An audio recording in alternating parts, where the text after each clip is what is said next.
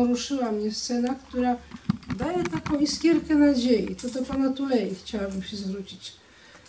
Rozmawia pan z synem i mówi, synku będzie dobrze. Czy może pan to powtórzyć nam? Oczywiście, że będzie dobrze. Obiecuję to Państwu. E, my, e, koleżanki i koledzy, patrzymy z nadzieją w przyszłość, nie odwracamy się i nie patrzymy na to, co się wydarzyło i po prostu awanti, idziemy do przodu, wszyscy razem. Jeszcze będzie przepięknie. Jeszcze będzie przepięknie. No to na kogo głosować za rok? Myślę, że na tym spotkaniu nie, nie powiemy.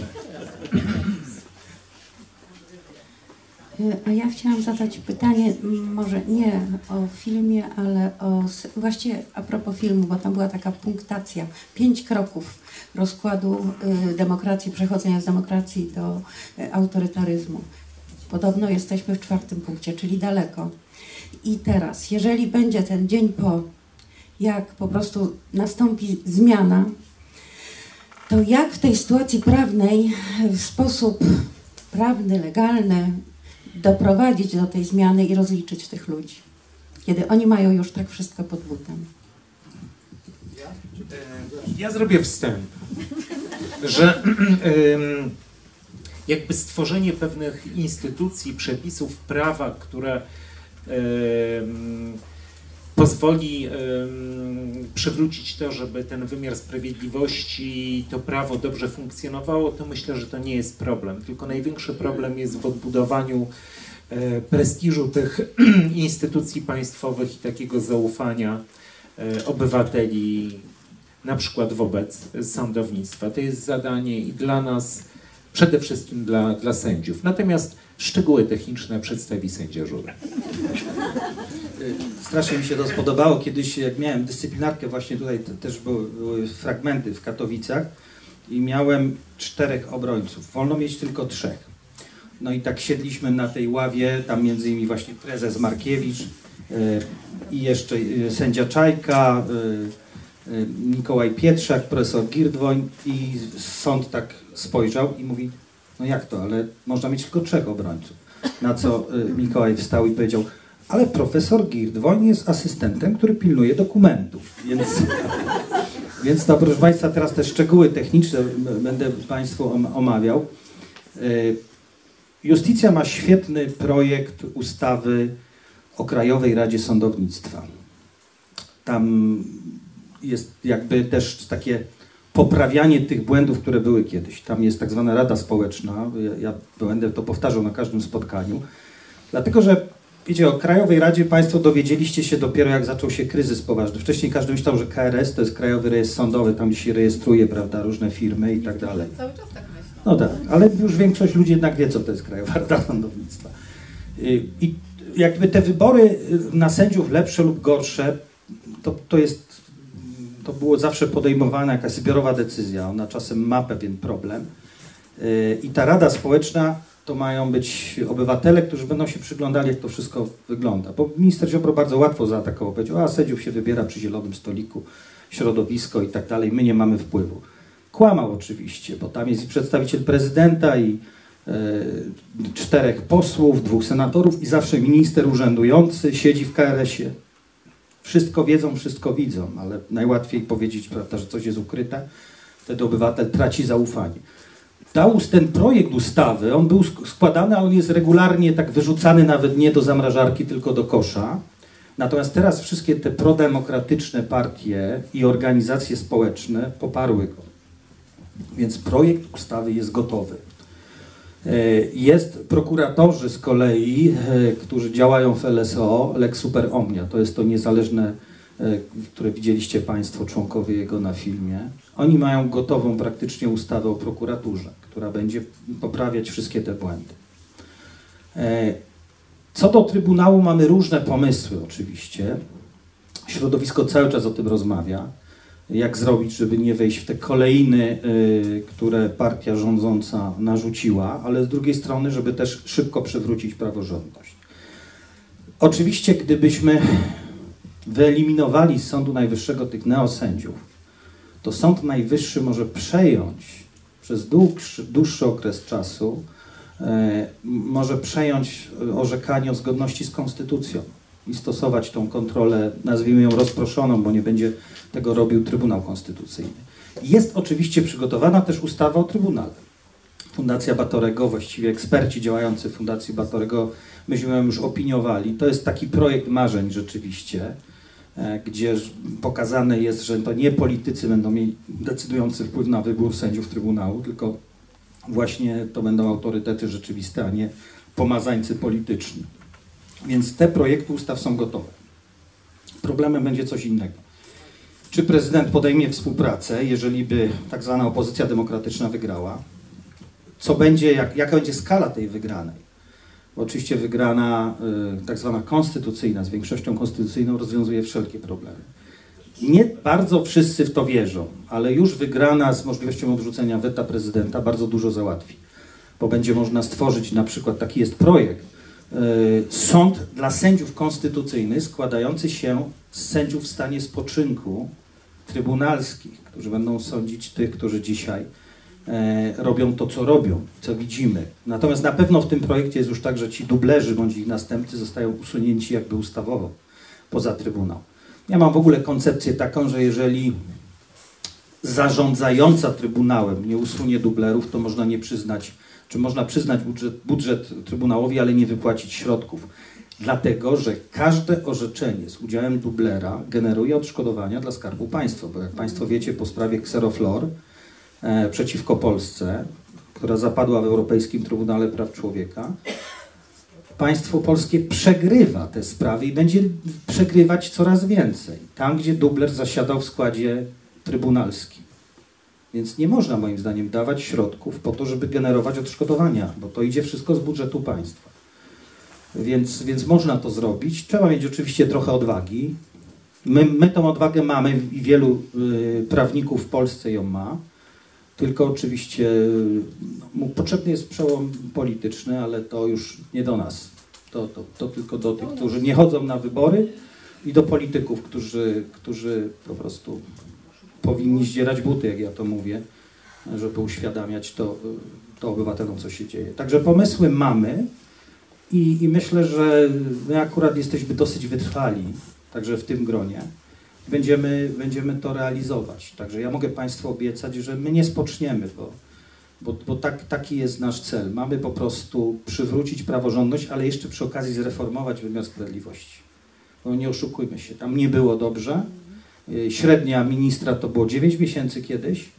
E, Minister Ziobro jest wyjątkowo długo panującym ministrem jak wiecie, w systemie się ca, coraz bardziej pogarsza. To jest nie tylko chaos orzeczniczy, ale w ogóle system jest naprawdę niewydolny. Więc, więc przy okazji mam nadzieję, że w końcu uda się przeprowadzić reformę.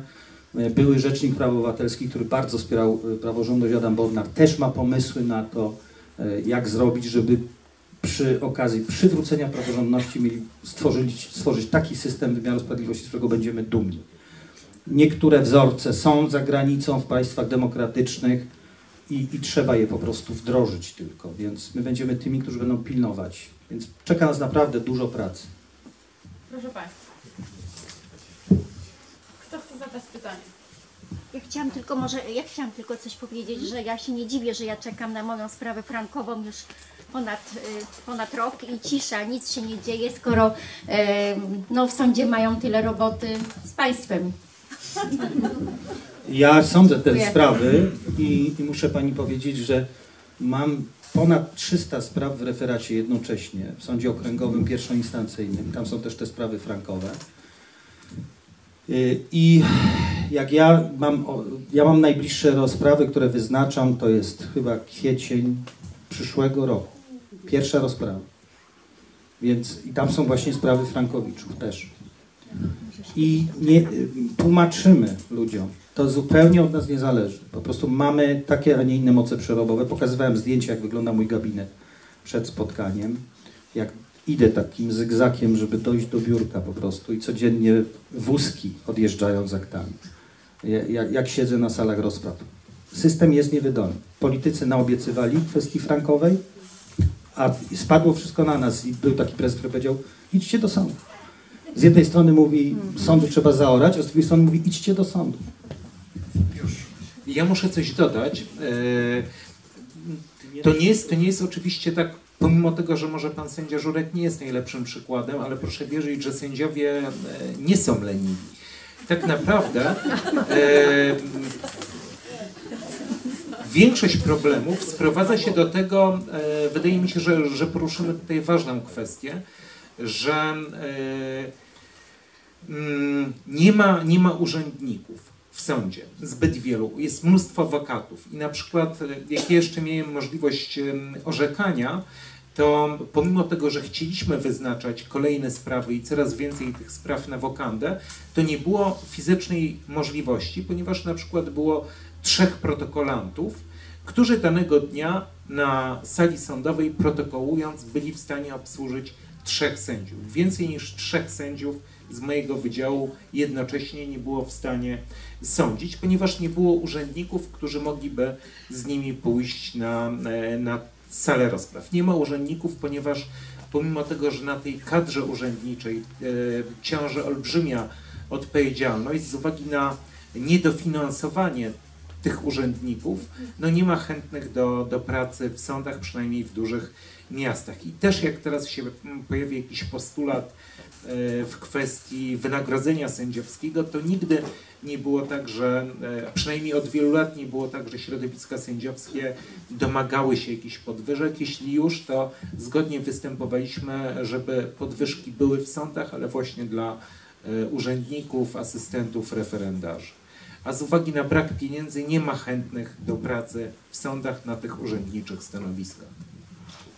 Ja jeszcze odpowiadając Pani, jak gdybym miał dwóch asystentów, to byłbym w stanie zwiększyć wydajność o 100%. O 100% więcej orzeczeń i tym samym skróciłbym te terminy. Nie czekałoby się do maja, tylko na przykład do stycznia. Yy, I, i, I robiłem sobie taką symulację. Ja mam asystenta, z którym się dzielę, jestem w takiej grupie asystenckiej, więc my się o tego asystenta bijemy. A ile, ilu, ilu was jest na jednego asystenta? Różnie, trzech, dwóch, czterech. Y, Teraz mój asystent akurat miał wypadek do grudnia, będzie nieobecny, więc, więc jest dramat po prostu. A jak się spotykamy z sędziami z innych krajów, to tam jest sekretarz przypisany do sędziego i dwóch asystentów zazwyczaj. I ta wydajność jest zupełnie inna, naprawdę. My musimy proste czynności wykonywać nadal, mimo tego, że, że jest wielu ludzi chętnych do pracy, Typu tylko przyznanie biegłym, e, biegłemu wynagrodzenia. Ja muszę napisać e, postanowienie. Postanowienie fizycznie muszę napisać, e, chociaż w tym czasie mogłabym wyznaczyć rozprawę albo no, przygotować się tak, do jakiejś rozprawy. Ale najważniejsze w tym momencie to jest obsesja jakaś naszych prezesów, wypłacić biegłemu e, wynagrodzenia. Ja wszystko muszę rzucić, żeby, żeby to postanowienie napisać. To jest krótka e, czynność, ale też zajmuje czas. Pani chciała zadać pytanie? Ja chciałam się dowiedzieć, e, skoro mm, nie wiadomo jak długo będziemy czekać na, na tą zmianę, nie wiem jak to nazwać, czy analogiczny termin Przywrócenie praworządności. depisacji, czy jak nie, nie nazwać to. W każdym razie y, czas leci, y, coraz więcej sędziów y, aktualnie zaangażowanych w tą sprawę, y, pewnie tych tak zwanych starych sędziów Sądu, Sądu Najwyższego na przykład. Ludzie przejdą na emeryturę, ciągle te kadry się wymieniają. Pan sędzia Tuleja, z tego co wiem, pracuje ze studentami. Mam pytanie, jakie są nastroje wśród młodych? Czy oni podejmą tą pałeczkę y, za państwa kiedyś, czy, czy, czy to będzie z tym problem? E, Moje doświadczenia są takie, że e, już studenci, bo, bo też mam kontakt z aplikantami, czyli z tymi młodymi prawnikami, którzy, którzy dopiero przygotowują się do tego, żeby zostać adwokatami, sędziami czy, czy prokuratorami, że e, no, mm, ci młodzi ludzie wiedzą, co to jest praworządność, wiedzą, co to jest prawo i wiedzą, co to jest konstytucja. E, Więc tu jestem optymistą i, i wierzę, że e, jakby tej mądrości nie stracą z wiekiem. Wprost przeciwnie chyba powinno być. Kto z Państwa ma jakieś pytania? Sędzia Łączewski zszedł, sędzia Łączewski zszedł z linii strzału, ale czy wróci? Sędzia Łączewski rzeczywiście e, odszedł z sądownictwa e, chyba dwa czy trzy lata temu. Em, Oczywiście to nie jest tak, jak się, jak się też mówi, że e, jak, jak nam się nie podoba w sądzie, jesteśmy niezadowoleni, to możemy zostać adwokatami, radcami prawnymi czy notariuszami. E, Rzeczywiście jest tak, że e, po wykonywaniu przez 3 lata jakiegoś zawodu prawniczego można po prostu ten zawód zmienić, tylko w przypadku na przykład, e, gdyby ja czy pan sędzia Żurek chcielibyśmy się wpisać na listę adwokatów odchodząc z sądu, to minister sprawiedliwości ma możliwość złożenia sprzeciwu, który po prostu taki wpis blokuje. Pan sędzia Łączewski e, odszedł z sądownictwa, jest po prostu prawnikiem, pracuje w kancelariach prawnych, z tego co mi wiadomo. E, I zdaje się, że przynajmniej w tych publicznych wypowiedziach nigdy nie, nie stwierdził, że zamyka sobie drogę, że nie widzi e, swojej przyszłości e, w wymiarze sprawiedliwości. Myślę, że nie powiedział ostatniego słowa. Sędzia Łączowski to jest ten, który rozstrzygał w sprawie, kiedy na ławie oskarżonych zasiadali e, minister Kamiński, minister Wąsik i tak dalej. Ktoś z Państwa ma pytania? Ja w takim razie zadam. Ja mam pytanie. Do kogo? Tak, oczywiście. Teraz ja sobie będę zadawał pytania. Panie sędzio Żurek, e, czy na przykład ta scena, kiedy, nie bójmy się tego słowa, jest pan nagi, czy dla pana jako nieprofesjonalnego e, aktora e, to było trudne? Jak to w ogóle wyglądało? Mo- Moi drodzy, nie ma tutaj reżysera, ale zarówno Iwonka, jak i Kacper mają taką, taki dar. Przede wszystkim są sympatycznymi ludźmi. Myślę, że dlatego ten film powstał. Yy, Kacper, a jaki dar ma Iwonka? Kacper właśnie biegał z tą kamerą, ona chyba go instruowała, co ma robić. Ale troszkę nas oswajali na początku, bo myśmy, mm, wie- wiecie Państwo, naprawdę nie mamy parcia na szkło, nie, nikt nie lubi, nie no, po prostu y, ja, ja byłem rzecznikiem przez ileś tam lat i y, jestem już tak zmęczony y, kamerami, a tutaj się okazało, że że znaleźli taką drogę do nas. Myśmy się po prostu trochę zaprzyjaźnili. I, i od tego się zaczęło, że, że, że tak oswajali nas coraz dalej, coraz dalej, wchodzili w te nasze życia. Trochę jak na randce. Trochę tak. Jak Kacper pukał o 6 rano, Krawat, zdejmij marynarkę. jak Kacper pukał o 6 rano, to, to już było tak, a cześć Kacper, jak tam? I zaczęliśmy y, prawda, dzień od tego, że pijemy kawę i rozmawiamy sobie, co nam się przydarzyło y, w ostatnim czasie, jak nie widzieliśmy się. I to powodowało, że myśmy w pewnym momencie się jakby wyłączali, że te kamery są. Y, Zapominaliśmy o tym na chwilę. Y, Ty, tych godzin było bardzo dużo kręconych. Ja tu powiem o tej scenie, której nie ma. I- Iwonka wie. Z moim psem. Proszę cię. Chyba są też dzieci. Pies gra jedną z głównych drugoplanowych ról. Także, ale pamiętam jak e, właśnie e, wychodził, no wiecie Państwo, pies wymaga tego, że wychodzi się bez względu na pogodę, prawda? Trzeba to zrobić zawsze, zawsze przed pracą. I pamiętam taki zimowy poranek. e, Ja mieszkam na, na takim wykwizdowie, tam po prostu wiatr hula, są takie otwarte pola i z tym psem rano w, w, w, wychodziłem, a Najważniejsze, że się kochacie. a, Kac, a Kacper biedny. Tak, ja bardzo kocham swojego psa.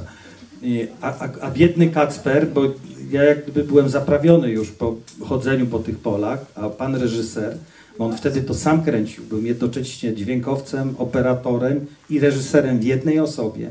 Stał biedny z tą kamerą w tych polach i ja się martwiłem już nie o psa, tylko o, o, o tego Kacpra, czy on w ogóle będzie mógł później y, rękami poruszać, jak będzie chciał wsiąść do samochodu. Bo rzeczywiście było bardzo zimno, przez to, że był ten wiatr, to jeszcze ta temperatura e, spadała, ale właśnie przez to, że on tak był z nami, e, to, to mógł nakręcać różne sceny, a myśmy jakby nie myśleli o tym, że to kiedyś pójdzie. To było robione na zasadzie, on tam siedzi, coś kręci, rozmawiamy, rzuca jakieś pytania. Później się okazuje, że on chce mieć tą scenę. Tak wyszło, przepraszam. Ale gdzie tu pies?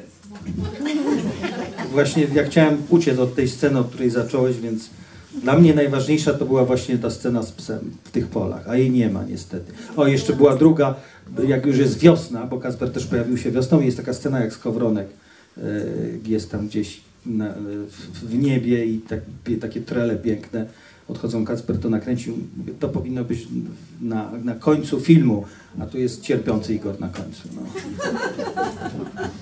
Trudno się dziwić. To jednak robi wrażenie. Iwona, czy ta praca z sędziami, z prokuratorami, z adwokatami, e, to czy, była, czy to była taka e, normalna praca dla Ciebie, e, taka codzienność, czy to jednak coś zmieniło w Twoim życiu? I czy też zmieniło coś w odbiorze filmu, bo też chciałam zapytać, jak ten film jest odbierany, jak ludzie reagują, no bo rozmawiacie z nimi, e, szczególnie po, tej, po tym wygranym festiwalu e, Millennium e, w Brukseli. Odbierany, to się odbiera fundusze festiwalu. Może Tak. No film jest dobrze rozumiany i e, odbierany e, za granicą. W Polsce, jak wiemy, e, pokazujemy w takich pokazach jak teraz i w, na takim platformie Moje Ekino, gdzie można zobaczyć film. Niestety żadna telewizja naszego filmu nie zakupiła, e, w tym również TVN, gdzie nam podziękował. Żadna Polska. Oczywiście za granicą tak, wiele, wiele stacji, w wielu krajach jesteśmy i można nasz film obejrzeć. E, Widownia była zachwycona na- we wszystkich festiwalach w zasadzie dla, taki aplauz dla sędziów, dla ich postawy e, i dla filmu myślę, że też dlatego, bo wielokrotnie oczywiście słyszeliśmy mi się, że dobre... dla tej em, e, europejskiej czy światowej, przepraszam, e, bo chciałem postawić kropkę, że dla, dla, tej, dla tej niepolskiej widowni jakby te problemy praworządnościowe w naszym kraju są absolutnie zrozumiałe. Pomimo tego, że to może wydawać się skomplikowane, ale dla widza zagranicznego to, co się dzieje e, z sądownictwem u nas jest zrozumiałe. Co widać po reakcjach po filmie. Koniec, kropka. Nie wiem, co teraz wróć do przeciwnika. Ja bym chciał, żeby jeszcze Iwonka powiedziała o Pradze, Budapeszcie, bo to jest dosyć istotne, a chciałbym, żeby to Tak, padło. Chciałam coś powiedzieć, bo obejrzałam ten film i można powiedzieć, że mnie to wcisnęło w fotel. Patrząc na to, co zobaczyłam, jestem pełna podziwu dla Państwa, sędziów, ale chcę powiedzieć, że są takie. mm, y, Ja y, jeszcze muszę to powiedzieć o swoich wrażeniach, że y, to jest budujące, widząc Was uśmiechniętych, takich pełnych optymizmu, że będzie dobrze, przekonujecie nas, że będzie dobrze. A to, co zobaczyłam na tym filmie, to nie do końca tak było, bo widziałam Wasze rozterki, Wasze przerażenie, widziałam policję, widziałam strach, widziałam młodych ludzi, którzy walczą. Ten film wywarł na mnie niesamowite wrażenie i taki ten kontrast, to co widziałam e, na obrazie i teraz to co widzę, co Państwo prezentujecie, że jesteście, jeszcze raz to powtórzę, pełni optymizmu, mówicie do nas, będzie dobrze, nie martwcie się, ale ja się martwię. Ja się cały czas martwię i mam w głowie to, co zobaczyłam. Policję, to, co państwo robi y, z nami, zwykłymi obywatelami. I, i jestem w kropce. Ale chcę właśnie y, jeszcze zadać pytanie, czy pani myślała o tym, co dalej? Czy myślała pani o dalszym ciąg, y, dalszej części tego filmu? Będziesz mogła się Myślę, że jeśli on nie będzie chciał postawić kropki, no nie wiadomo. Już Nie mam takich planów, nie chciałabym kontynuować tego filmu. Ten film ma swoją wypowiedź i e, uchwycił tą rzeczywistość, która była. E, jeśli będzie jakaś bardzo ważna sytuacja, e, taka, która otworzy jakiś nowy temat, a nie tylko powieli schematy, że tak powiem, dociskania praworządności czy sędziów, to, to być może tak, ale Myślę, że teraz jest e, inny etap i jestem optymistką też, że za chwilę będą wybory e, i trochę i będzie inna sytuacja. I nie chciałabym robić e, drugiego sezonu z podobnymi bohaterami w podobnej sytuacji. Nic nowego to nie wniesie. Warto dokumentować i absolutnie tak. Wydaje mi się, że pewnie jesteśmy zgodni, że nasza siła tkwi w tym, że e, staramy się nie patrzeć e, gdzieś do tyłu. Jeśli już, to, to tylko po to, żeby wyciągnąć wnioski i e, ta siła wynika z tego, że my, że my idziemy do, do przodu, uczymy się na błędach e, i trzeba po prostu optymistycznie patrzeć w przyszłość, w przyszłość i pamiętać o tym, że nawet e, po najdłuższej nocy zawsze wstaje dzień. To tak e, tytuł na ten drugi i trzeci sezon. Pani producent.